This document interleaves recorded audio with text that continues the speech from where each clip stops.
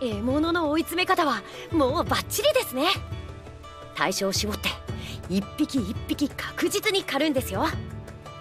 あとはどうやってうまく気配を感じ取るかですね。こればかりは感覚的なものなので説明できるかどうか。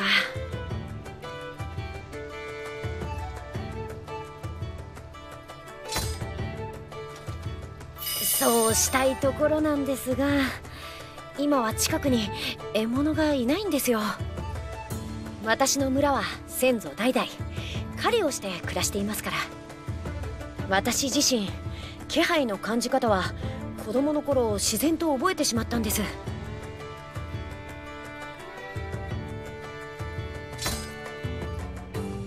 本当にそうで。狩りこそご先祖様に教えてもらった私たちの生き方なんや。あさ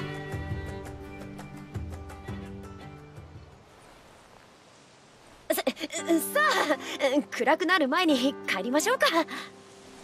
いいや狩りに夢中で時が経つのを忘れちゃいましたね。